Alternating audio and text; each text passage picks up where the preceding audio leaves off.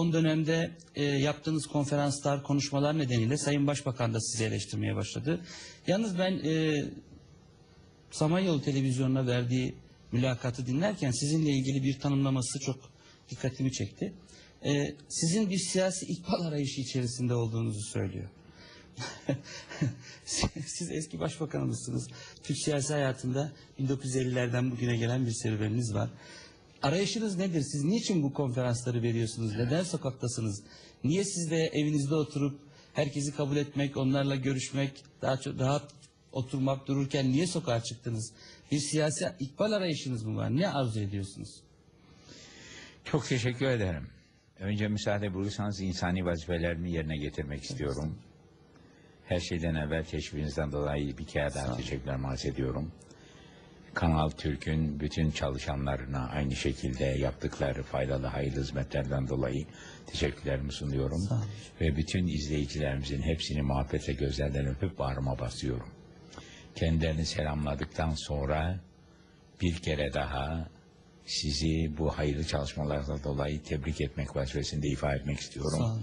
Ülkemizin bağımsızlığına, milletimizin bütünlüğüne, birliğine ve ülkemizin birliğine göstermiş olduğunuz büyük hassasiyetten dolayı memlekete, vatana çok hayırlı hizmetler yapıyorsunuz. Sayeniz meşgul olsun, kazanız mübarek Sağ olsun. hocam, çok teşekkür Her bakımdan tebrik ederim, teşekkür Sağ ederim. olun. Teşrif ettiniz, lütfettiniz, şeref verdiniz. Önce bir defa tabii Sayın Tayyip Bey'in şimdiye kadar hiç sesini çıkartmazken, şimdi seçime giderken, bilhassa bu yayınlardan sonra Evet. Bu kabil sözler sarf etmiş olması hayır alamettir. çok güzel. Çünkü onun akıllıca yapacağı iş yok muamelesi yapmak idi. Bugüne kadar bunu yapıyordu ama dayanamadı. Evet. Çünkü Türkiye'nin her yerinden gelen haberler Saadet Partisi'nin milli görüşün hızla bütün milleti kucakladığını gösteriyor. Bu haberler ona da gidiyor. Bu haberler gittiği zaman ister istemez orucunu bozmak mecburiyetinde kaldı. Bu o itibarla hayra alamettir. Bir şeyler söylemesi lazım. Biz her zaman onların faaliyetleri üzerine, şahıslar üzerine bir şey söylemeyiz. Ama yaptıkları faaliyetler ülkemizin, milletimizin menfaatine aykırı olduğu için hem bir abiler olmak dolayısıyla kendilerini şefkatli ikaz etmek için hem de Türkiye'yi bu felaketten kurtarmak için vatandaşlarımızı aydınlatmak için vazifemizi yapmak mecburiyetindeyiz. Bu sebepten dolayıdır ki konferanslarımız, mitinglerimiz, böyle tarihi bir seçime giderken bütün gücümüzle çalışmamız üzerimizdeki bir vecibeyi yerine getirmektir. Çünkü bu seçim sizlerin de birçok yayınlarınızda işaret ettiğiniz gibi diğer seçimlerden bir tanesi değildir. Biz diğer seçimlerde iyi mi idare edeceğiz, kötü mü idare edileceğiz? Buna dair karar veriyoruz. Ama bu seçimde var mı olacağız, yok mu olacağız? Çünkü beş yılın içerisinde takip edilen politikalarla Türkiye öyle bir uçurumun kenarına getirilmiştir ki bu uçurumun arkasından yok olma tehlikesi baş göstermiş Allah muhafaza buyursun.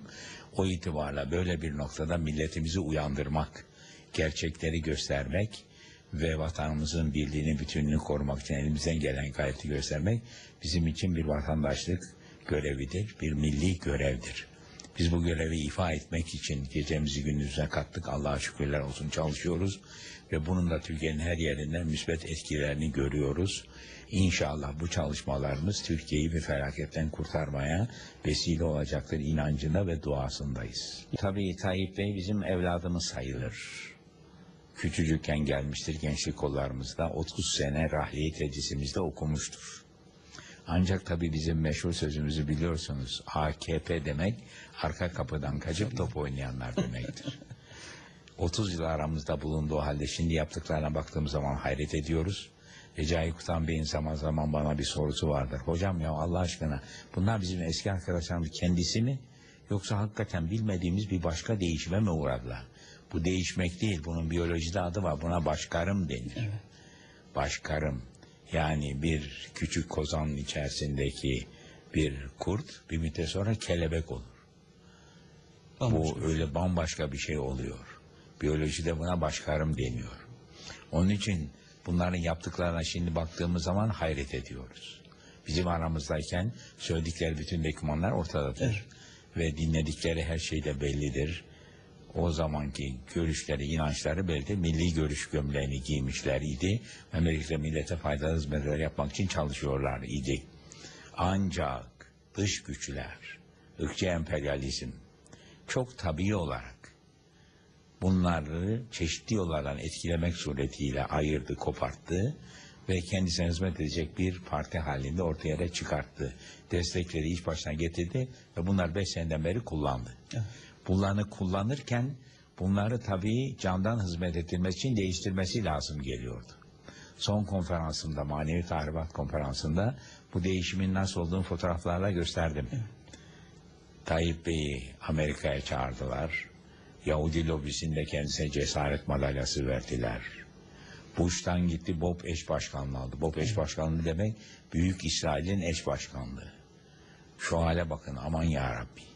Bunlar bir marifet zannederek gitti aldı. Sizden ayrılırken sizin tahakkümünüz altında kalmaktan şikayet ediyorlardı. Ondan sonra orada kendisine doktora gömleği diye milli görüş gömleğini yerine yeni gömleğini giydirdiler. Bu gömleği biz Tayo 2 gömleği diyoruz.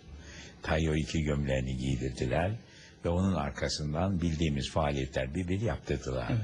Şimdi biz şefkatle bir abisi olarak, bir hocası olarak kendisine bak Tayyip sen bir şey yapıyorum zannediyorsun. Bir felakete gidiyoruz. Dünyanı ve ahiretini mahvediyoruz.